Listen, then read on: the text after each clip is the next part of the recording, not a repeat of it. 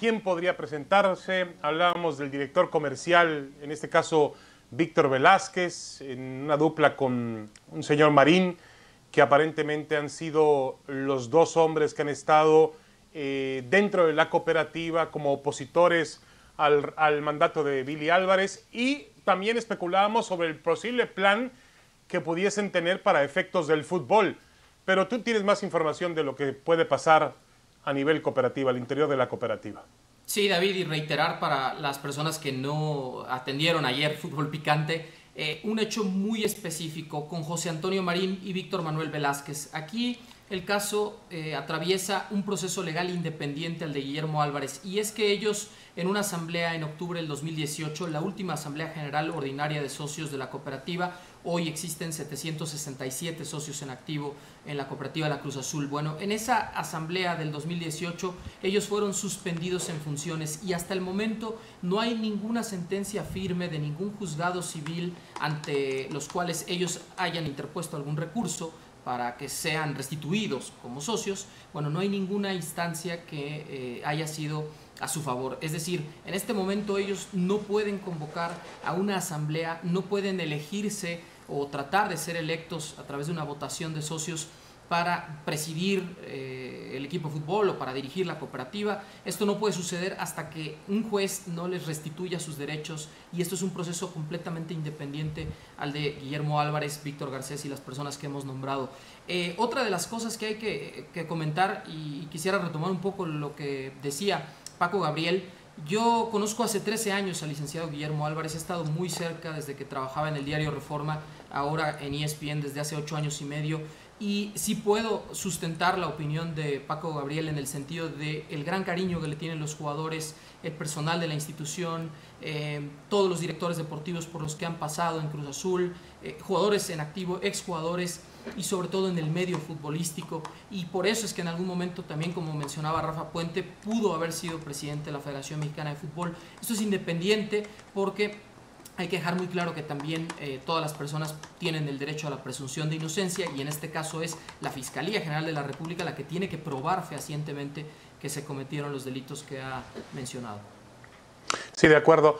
Eh, eh, aparentemente, dentro la, obviamente entendemos que en la cooperativa León hay una lucha interna hace, hace ya algún, algún tiempo, algunos ni siquiera son meses, son años, muy, muy, muy, realmente muy, muy cerrada, muy polarizada eh, aparentemente ya empiezan a organizarse y los grupos que apoyan o que apoyaban, no, que siguen apoyando a Billy Álvarez, estarían nombrando eh, o decantándose por el ingeniero Jorge Fernández como el sustituto de Billy al frente de la cooperativa. ¿Es esto verdad? Sí, sí, de acuerdo. es una información que me pasaban a mí en la tarde y me dijeron, por favor, cuida el nombre eh, no queremos que tampoco sea objeto el licenciado Jorge Fernández de ataques o de, digamos, un sector de oposición por parte de los socios, pero ya que lo has mencionado, es así, David. Eh, Jorge Fernández tiene, digamos, el ok del licenciado Guillermo Álvarez para que en el escenario de que tenga que enfrentar un proceso legal, es decir, que se dicte el auto eh, de formal prisión, lo que se conocía como el auto de formal prisión, o la vinculación a proceso, como se menciona actualmente en términos legales.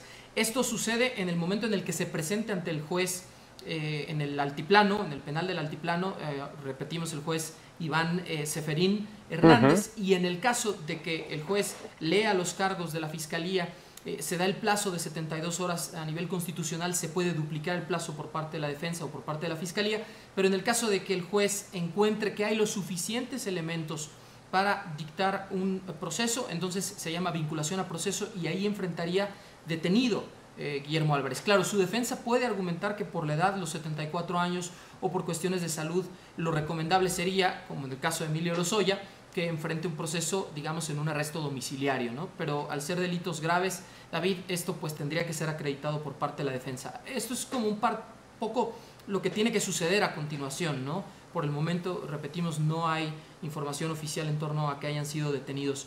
Y David, ojo con el nombre de Alfredo Álvarez. Y lo mencionaba hace un momento Rafa Puente, le extraña, ¿no? Porque si aparecía en la investigación original de la Unidad de Inteligencia Financiera, pues no ha sido dictada una orden de aprehensión en su contra. A mí lo que me dicen es que Alfredo Álvarez lidera otro sector dentro de la cooperativa y tiene fuerza también para tomar él la dirección general como esperaba justamente al ser el hijo mayor de don Guillermo Álvarez Macías, eh, que falleció pues hace ya muchos años. Bueno, pero Alfredo también estaba ligado hace poco a acusaciones muy serias. ¿Ya de acuerdo, desaparecieron? Pero esta parte del convertirse en una especie de testigo protegido, de haber acudido de forma voluntaria pero ¿con, qué pero ¿con qué calidad moral puede él dar un paso al frente ahora para convertirse en presidente la, o en director de la cooperativa, ¿no? Al menos el decir, a mí la fiscalía no me hizo imputaciones. ¿sí? O sea, hubo una investigación de la UIF, sí, ahí estaban mis cuentas, todos los libros, eh, toda la parte de las em, eh, tarjetas bancarias, las operaciones con cheques, la parte de los depósitos y compras en efectivo, propiedades, etcétera, etcétera, y no encontró o una de dos, o elementos suficientes para fincar responsabilidad y levantar cargos, o dos, en la parte en la que eh, un testigo se convierte en una pieza clave para las autoridades, entregando información muy delicada y confidencial, por supuesto. León Lecanda, muchas gracias eh, por la información tan detallada y tan oportuna. Sin duda, uno de los hombres que ha seguido más de cerca este tema en, los últimos meses, en los últimos años, y un hombre que conoce muy, muy bien, a fondo, la vida de Cruz Azul. Esperemos que hablemos más de temas de cancha muy pronto, León, y no tanto de temas como estos. Totalmente, David, y buenas noches a todos. Mencionar que Cruz Azul tiene 14 partidos sin derrota. Mañana juega contra Puebla abriendo la jornada 2 si nos vamos a los ocho del torneo de clausura 2020 que fue cancelado, los cinco de la Copa GNP que terminó siendo campeón, digamos únicamente se acredita el empate en términos oficiales contra Tigres, pero lo vencen penales, y ahora con la victoria ante Santos. Son 14 partidos, David, y hoy no se está hablando de lo deportivo y de lo bien que lo está haciendo la máquina en la cancha. De acuerdo. Gracias, León. Vamos a una entrevista que tenemos que preparó Tlatuani Carrera, una entrevista que le hace al escritor eh, Juan Villoro, un hombre muy reconocido en el mundo de las letras y también un hombre que tiene siempre mucha pasión por el fútbol, escribe de fútbol, le, he leído algunos textos maravillosos sobre este deporte que nos apasiona. Y si no me equivoco, eh, Villoro es aficionado de Cruz Azul. Eh, entonces, ¿ah, del Necaxa? Ah, bueno, correcto. Bueno, entonces del Necaxa.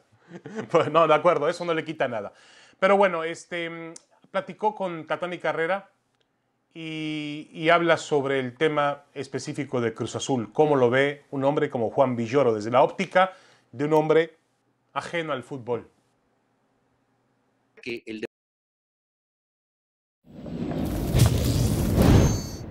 Acabas de escribir un artículo muy lúcido donde hablas eh, sobre el tema Cruz Azul, ¿no? Y todo lo que ha sucedido con este equipo. Platícanos un poquito cómo evalúas a Cruz Azul después de tantos años, ¿no? Porque cuentas tú cosas muy interesantes ahí. Bueno, una de las grandes eh, taras que tiene el deporte organizado es que ha estado muchas veces en manos de directivos que duran demasiado tiempo. Es una de las paradojas de las democracias occidentales. Eh, uno pensaría que una dictadura puede abusar del deporte de muchas maneras, pero también lo han hecho las eh, democracias. Y se diría que el deporte organizado ha sido una especie de vacío de poder que ha permitido que haya todo tipo de negocios y que jerarcas se entronicen ahí durante muchísimo tiempo. En México hemos visto el triste caso del Cruz Azul porque es un proyecto extraordinario, surgido de una cooperativa, era un proyecto fabril, eh, esta fábrica que producía cemento tenía eh, una política social importante que llevó a practicar el deporte, primero en forma amateur y luego en forma profesional. Y desde los años 70 eh, ya entró de lleno en, el fútbol mexicano de primera división. De hecho, desde los años 60 está en primera división, pero en los 70 se convirtió en el equipo más importante de la mano de Raúl Cárdenas. Pues bien, ahí Guillermo Billy Álvarez durante 40 años ha sido el principal directivo, es un hombre muy correcto, todos nosotros lo conocemos de maneras espléndidas, pero que ha usado el dinero de una cooperativa para eh, manejar un equipo durante demasiado tiempo, sin títulos a la vista. Desde 1997 no obtienen un título los eh, cementeros que luego fueron bautizados la máquina celeste. Y es una situación muy trágica porque es una clara eh, muestra de cómo eh, se manipula, por un lado, el patrimonio de una empresa, de una cooperativa, y por otro lado, la ilusión de la gente que ve que se ficha todo tipo de jugadores, a 17 técnicos diferentes, a 150 o más eh, jugadores desde que no obtienen un título, estos fichajes dan enormes comisiones a todas las personas que intervienen en los traspasos y eh, finalmente no hay resultados. Entonces, eh, ¿qué está sucediendo? Claramente, ahí hay un problema. Ahora, en tiempos recientes sabemos la unidad de inteligencia financiera ha intervenido las cuentas bancarias eh, de Billy Álvarez y también, bueno, eh, su hermano vinculado con la directiva, su cuñado también, son personas que han estado ahí muchísimo tiempo y ahora el tema ya está en manos de la DEA, incluso con cargos posibles de lavado de dinero. Este es uno de los ejemplos de cómo el fútbol que genera tanto porque la gente delega sus ilusiones en forma generosa en él, puede ser explotado. Creo que Cruz Azul es un, en ese sentido eh, algo indigno para sus propios aficionados que son eh, muy entregados